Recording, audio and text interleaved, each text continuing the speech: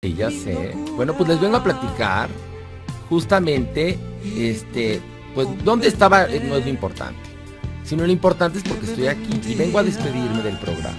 Todo se derrumbó dentro de mí, dentro de mí.